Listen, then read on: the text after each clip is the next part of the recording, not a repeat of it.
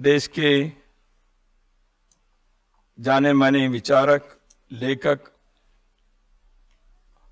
और संयोग से राजनीति में भी रहने वाले केरल के राज्यपाल, महामहिम राज्यपाल आरिफ मोहम्मद खान साहेब।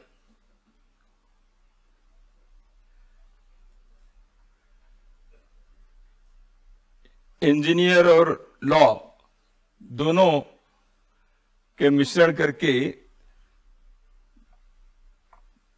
जो डिस्टॉर्टेड नैरेटिव है, उसको सही दिशा देने के लिए जिन्होंने एक इंटेलेक्चुअल बैटल अपने कंधों पर उठाए हैं, ऐसे साई दीपक जी, आज के इस ग्रंथ के ग्रंथकार, लेखक वर्षों से मेरे बड़े आयु के मित्र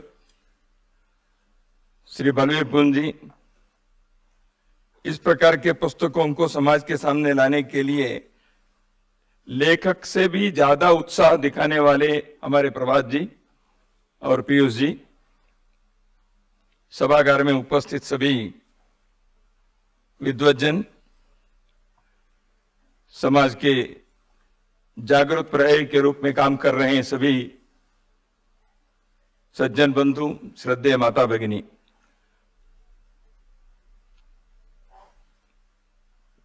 पुस्तक के बारे में तो अभी बहुत कुछ कह चुके हैं और मेरे पहले से दो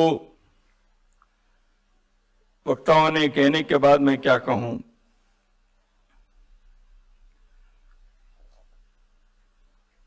मेरे परिचय में बताया, मैं दक्षिण के हिस्से से आया हूँ भारत के। साहित्य पक्षी खीर कहते हैं साउथ इंडिया नहीं कहते, साउथ ऑफ़ इंडिया कहते हैं आप। और कई वर्षों से मैं कहता था, लेकिन मैं यूट्यूब में नहीं आता हूँ, ये आते हैं, इसलिए ये प्रचारित हो गए। मैं कहता हूँ south India south India, north India वगैरह नहीं है। It is south of India north of India है। ठीक है? तो वहाँ भोजन के अंत में आपको मालूम है, दही नामक चीज़ जो छाछ है, उसके साथ चावल मिक्स करके खाते हैं।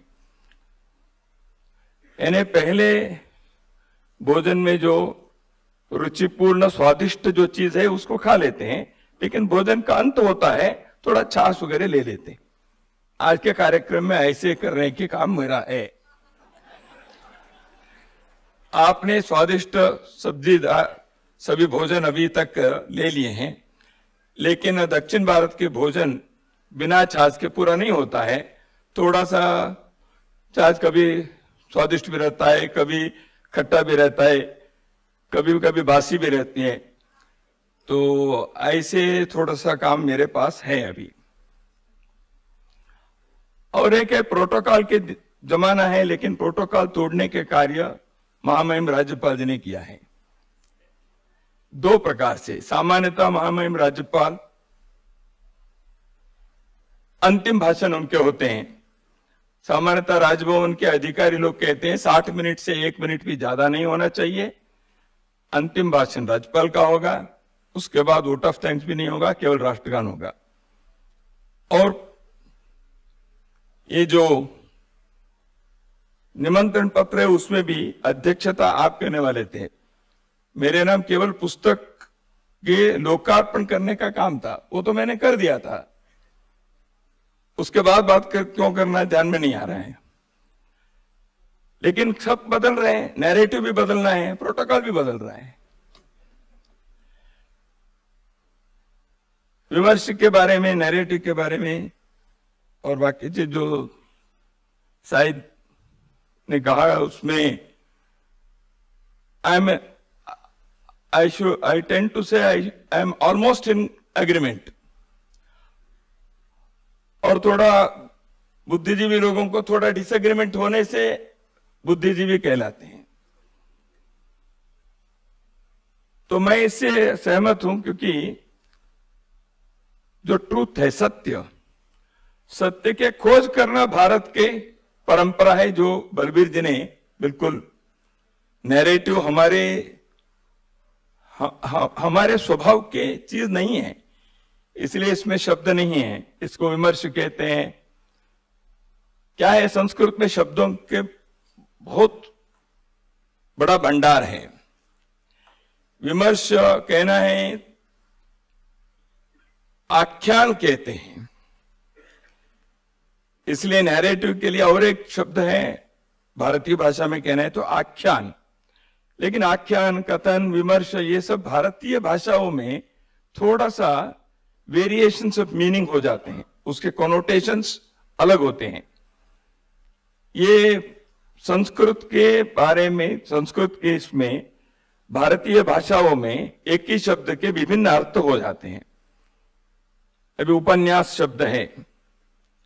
उपन्यास शब्द के हिंदी में अर्थ है नॉवेल उपन्यास के शब्द अब तेलुगु और कन्नड़ में, उपन्यास का अर्थ है व्याख्यान लेक्चर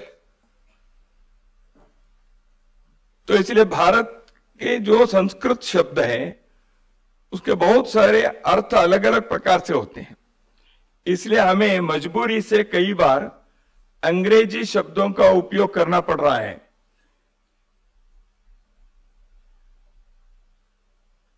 नैरेटिव बदलने के ये जो बैटल कह रहे हैं बार बार ये जो उपक्रम है, ये जो बीड़ा उठाए हैं, यह यहीं से शुरू होता है। भारत को समझना है तो संस्कृत को समझना चाहिए, लेकिन संस्कृत को समझते नहीं है, संस्कृत अध्ययन नहीं करेंगे, संस्कृत तो मृत भाषा है।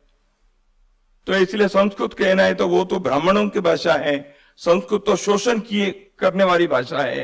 यानी कितने प्रकार के चीज़ें पिछले सौ, डेढ़ सौ साल से, खास करके पिछले पचहत्तर वर्षों में स्वतंत्र भारत के स्वतंत्रता के बुद्धिजीवी लोगों ने दुनिया के सामने परोस दिया।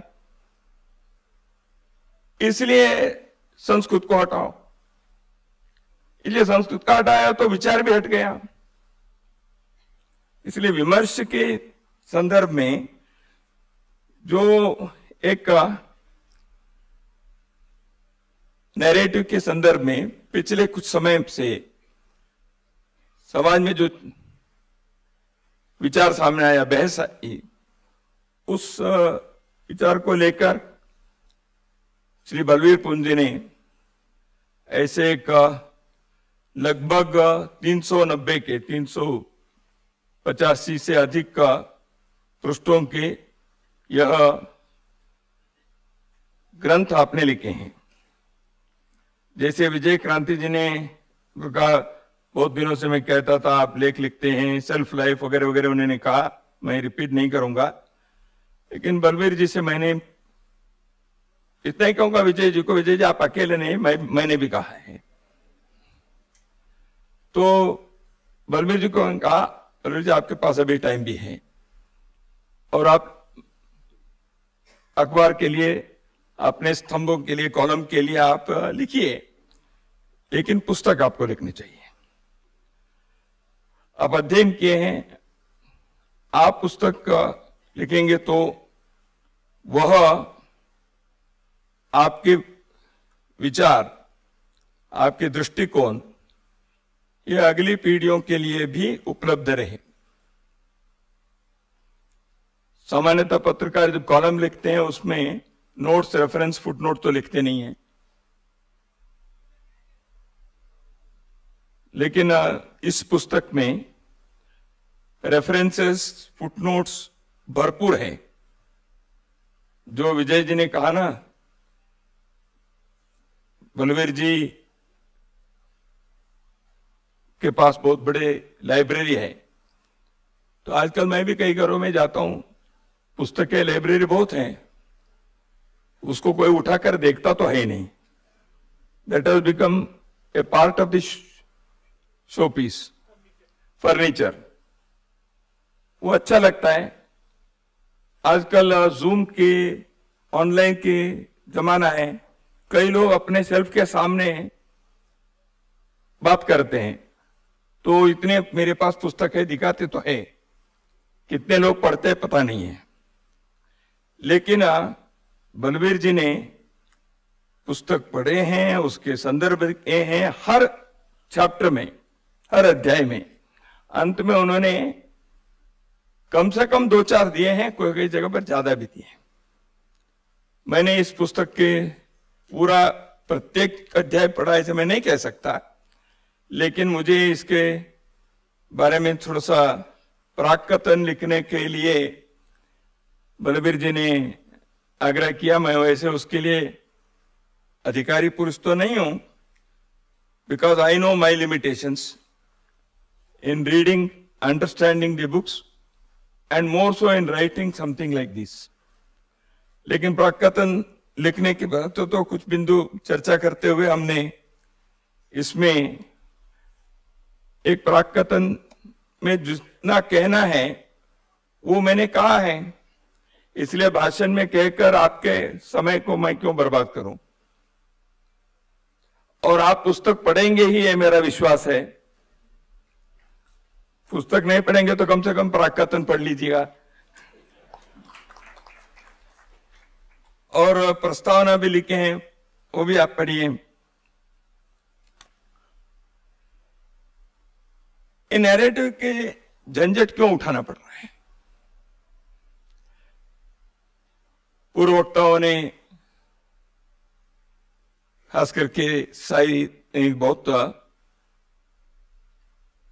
इस विषय के बारे में विशेष रूप से कहा है। और नैरेटिव करेंगे तो वो क्या होना चाहिए, इसके बारे में अरिफ मोहम्मद खान साहब ने कहा है। तो दोनों मिलकर ये विषय पूरा होती है। भारत में भारत के बारे में भारतीयों को परिचय देना है और वो भारतीय भाषा में देनी चाहिए। किसी ने पूछा, बलवीर जी से, आपने पुस्तक हिंदी में लिखी है? सामान्यतः बलवीर जी अंग्रेज़ी में कॉलम्स लिखते हैं। उनके हिंदी कभी स्वयं या और कोई अनुवाद करते हुए देश के कई समाचार पत्रों में छापते हैं। लेकिन बलवीर जी, हिंदी में पुस्तक लिखना चाहिए, इसका आग्रह भी हुआ। क्योंकि अपने देश में वैचारिक बौद्धिक क्षेत्र में चर्चा और बहस होने के लिए अंग्रेज़ी में आप लिखेंगे तो कान मार्केट में पुस्तक बिकेंगे तो ही आप इंटेलेक्चुअल माने जाएँगे नैरेटिव सेट करेंगे। ऐसे एक नैरेटिव जो सेट हुआ है, उसको हमें तोड़ना है। इसलिए भी हिंदी में लिखने की आवश्यकता है और हिंदी में अपने देश के विषय को हम अपने हृदय के नज़दीक के विषय को उस प्रकार प्रस्तुत करने के एक बहुत बड़े तादाद को निर्माण भी करना चाहिए। उस दृष्टि से बलवीर पुंजी ने इस पुस्तक की रचना अपने की है। कौन है हम?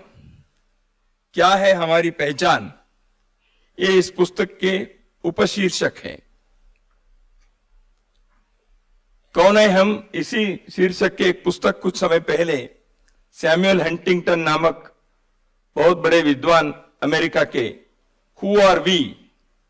ऐसे का ग्रंथ की रचना की, वो दुनिया में उसकी चर्चा खूब हुई।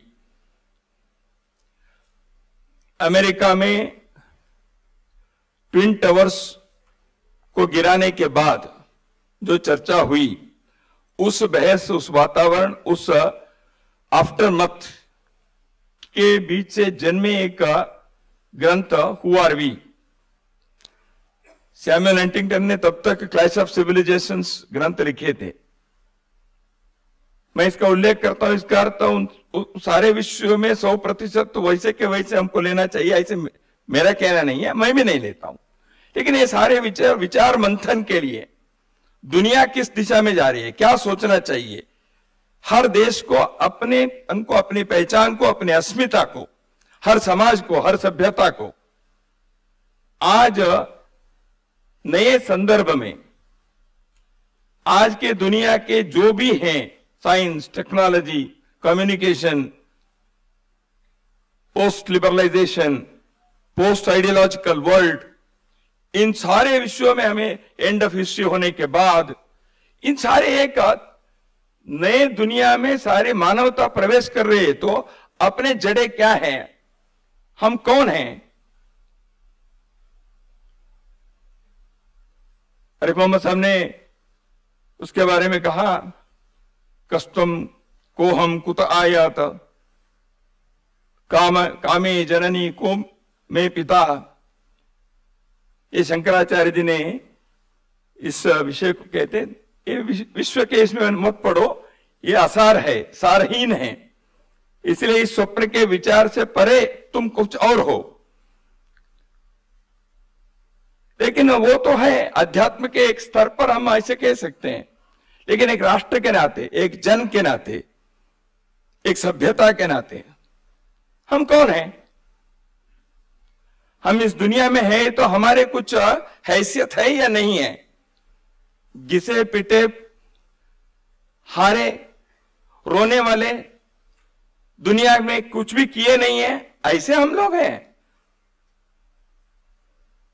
या दुनिया के इतिहास में एक श्रेष्ठ जीवन की न केवल संकल्पना के प्रयोग करते हुए विश्व के मानवता के लिए स्थायी विचार, स्थायी व्यवस्था कई विषयों के बारे में योगदान देने वाले हम अपने बारे में भूल गए।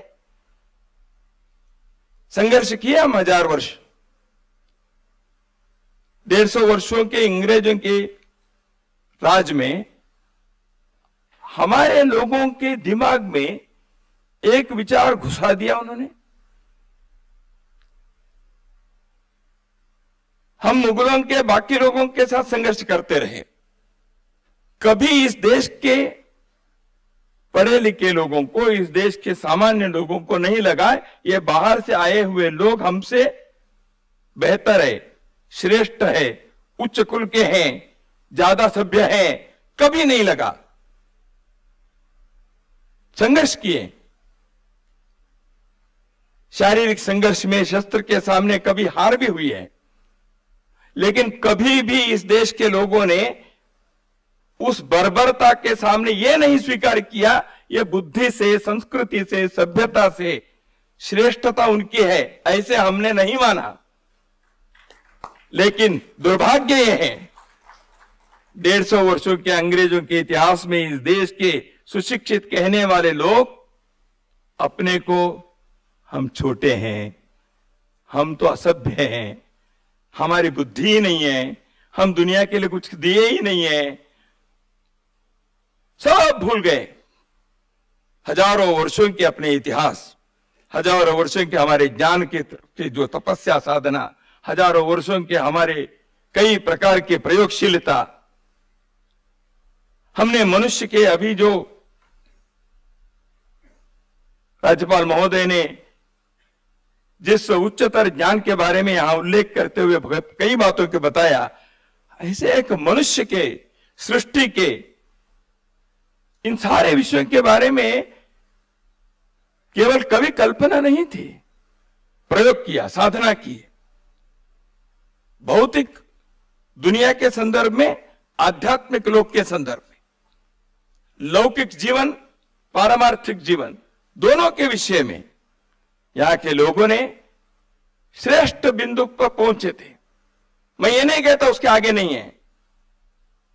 मानवता कभी उसके कोई लास्ट पॉइंट हो गया, ऐसे कभी नहीं हो सकता। और आगे जाना है। लेकिन उसको हम भूल गए। हमें अपने बारे में घृणा हो गई। हमें अपने बारे में ऐसे लगने लगा कि वही हमारे व्हाइट मैंस बर्डन जो है वो हम है क्या करें? इसलिए हमें सिविलाइजेशन सिखाने के हमको सभ्य बनाने के हमको कल्चर कर, के रास्ते पर ले जाने के सारी बीड़ा उन्होंने उठाई। हम उसको गुलामी की उस दौरान स्वीकार भी कर लिए। चलो भाई लेकिन देश स्वतंत्र होने के पचहत्तर वर्षों में तो करना चाहिए था ना। नहीं उससे ज़्यादा गुलामी दिखाने के होड़ लग गई ये क्यों हुआ? Because such a narrative was set by them, by their agents here, through academies, through universities, think tanks, international medias, opinion making, through judiciary, कहा नहीं किए? भारत हिंदू सनातन इससे जुड़े हुए हर विषय के बारे में घृणा उत्पन्न करो प्रश्न खड़ा करो। ये दकियानुसी है ये साइंटिफिक नहीं है एंटी डेवलपमेंट है ये है, वो है एंटी ह्यूमन है। कितने प्रकार से हमारे ऊपर करते रहे करते रहे।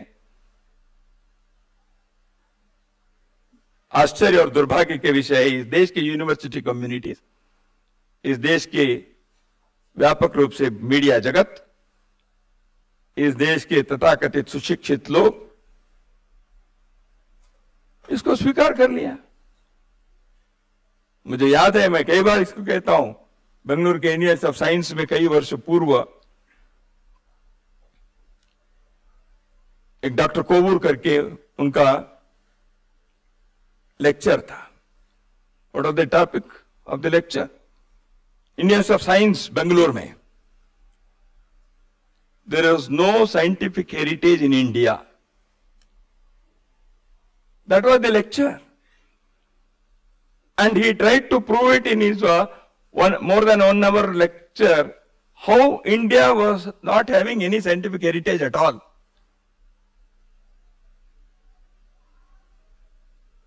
तो कैसे हुआ?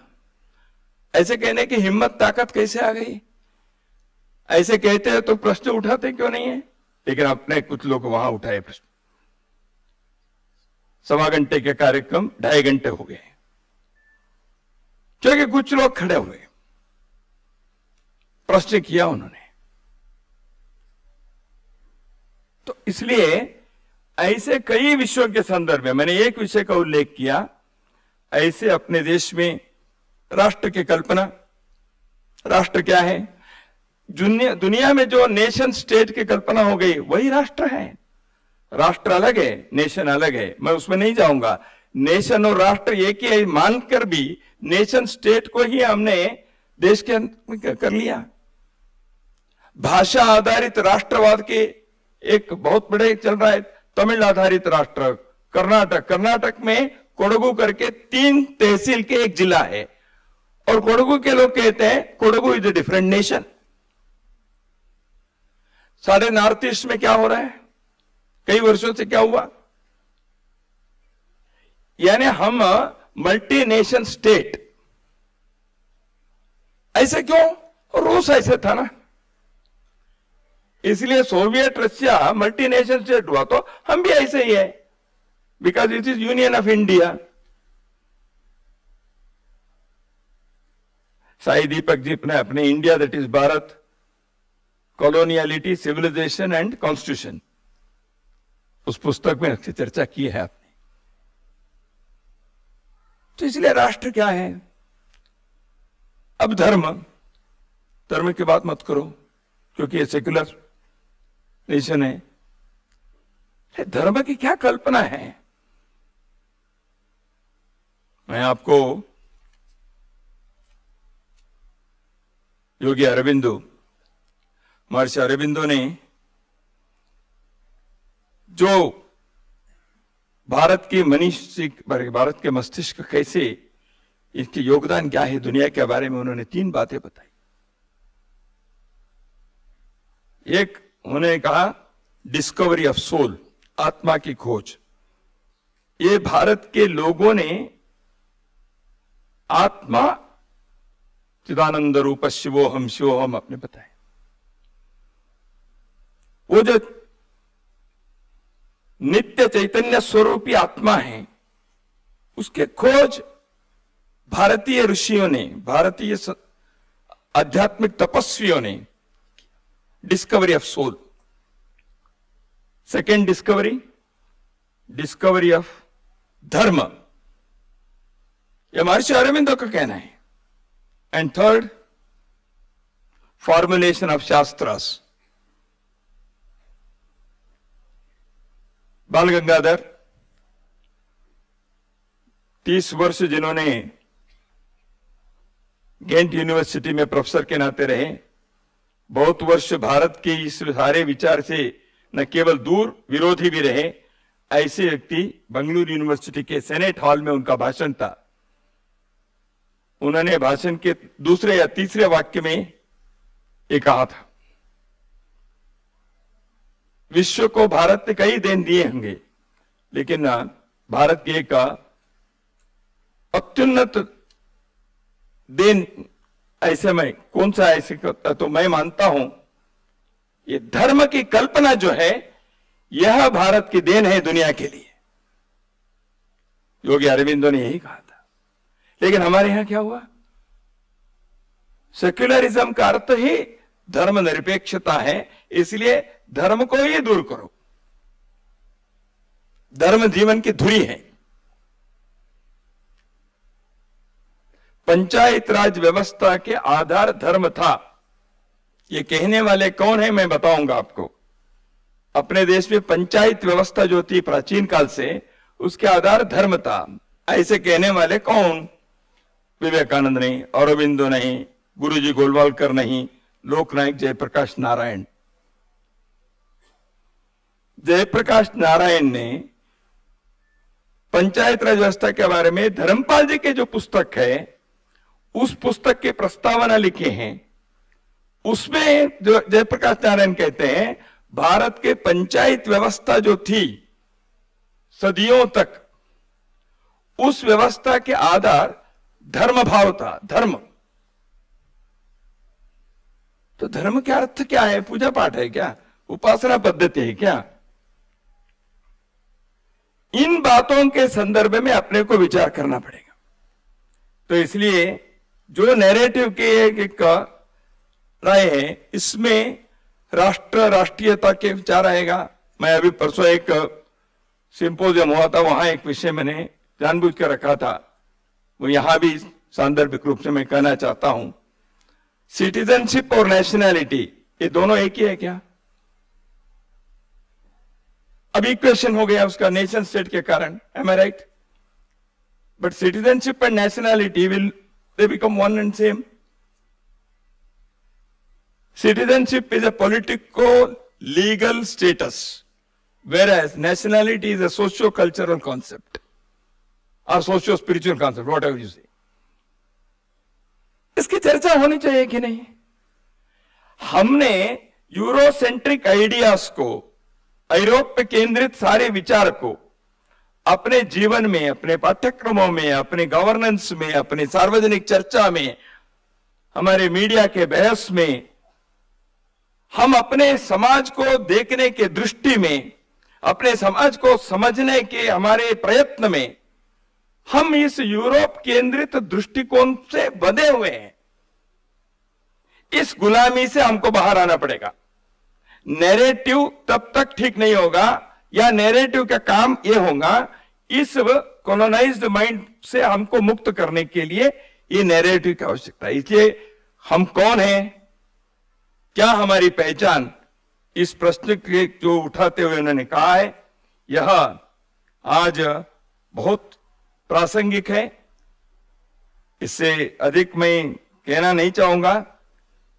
अपने यहाँ नरेटिव को विमर्श कहते हैं कि संवाद है हमारे यहाँ एक शास्त्रार्थ की कल्पना है। नैरेटिव ये प्रापगंडा है। बताया ट्रूथ सत्य के खोज। सत्य एक दिखता है आपको, मुझे एक दिखता है। लेकिन वो भी अर्ध सत्य है, मुझे इस तरफ़ से जो दिखता है वो भी अर्ध सत्य है। सत्य को तो समग्रता से देखना पड़ेगा। लेकिन मुझे जो कन्वीनियंट है, उस सत्य को मैं रखता हूँ तो नैरेटिव होता है। Because I can prove that it is truth but it is not full truth but it is my convenient truth and the convenient truth becomes narrative and on the base of of narrative propaganda starts. ये सारी चीज़ों के संदर्भ में हमें एक सबल, प्रबल, वैचारिक अभियान को चलाने की आवश्यकता इसलिए है क्योंकि आज दुनिया के सामने मनुष्य से संबंधित, सृष्टि से संबंधित मनुष्यों ने बनाए हुए व्यवस्थाएँ, समाज, सरकार, संविधान, विश्वविद्यालय, शिक्षा गवर्नेंस इन सारे विषयों के बारे में अपने को एक नए ढंग से सोचना पड़ेगा। उसको हमें अपने जड़ों में जाकर, उसको समझकर आज के संदर्भ में कैसे करना चाहिए? ऐसे एक युगानुकूल, काल सुसंगत नैरेटिव को आगे बढ़ाने के लिए अपने को समझना आवश्यक है। Know yourself first know thyself लेकिन वहीं रुकना नहीं है। विचार की यात्रा पाँच हज़ार, तीन हज़ार पहले के विषय को बताकर समाप्त नहीं होती। There is no full stop in the journey of intellectual pursuit आगे बढ़ना चाहिए। ज्ञान के नए नए आविष्कार करना पड़ेगा। ज्ञान के नए नए सृजन करना पड़ेगा। इसलिए नैरेटिव एक छोटा आयाम है उसमें, लेकिन उसके महत्व है। उस महत्व को हमें समझना है। इसको आगे बढ़ना चाहिए। इसलिए शास्त्रार्थ जो है भारत में भारत में शास्त्रार्थ इसलिए सत्य के खोज के एक प्रामाणिक प्रयत्न था। शास्त्रार्थ में मैं मेरे अनुभव से, अध्ययन से, अवलोकन से, संवेदना से, जिस सत्य को मैं रखता हूँ, उसको प्रामाणिकता से मैं रखूँ। आप, आपने जो सत्य का अनुभव किया है, अध्ययन किया है, अवलोकन किया है, उसको आप रखेंगे। उस पर शास्त्रार्थ होगी। आपके सत्य को यदि मेरे सत्य से उच्चतर सत्य है ऐसे मैं मानता हूँ तो शास्त्रार्थ में मैं आपको स्वीकार करता हूँ, ये हार जीत नहीं है, ये सत्य की जीत है। मैं आपका फॉलो करता हूँ। यह इस देश के नैरेटिव की, ये परंपरा रही है। इसलिए उस सत्य के शास्त्रार्थ के लिए हम तैयार हों। आज लोकार्पित हुए यह पुस्तक या ग्रंथ, उस प्रयत्न के लिए, उस प्रामाणिक प्रयोग के लिए हमारे लिए प्रेरणा दे।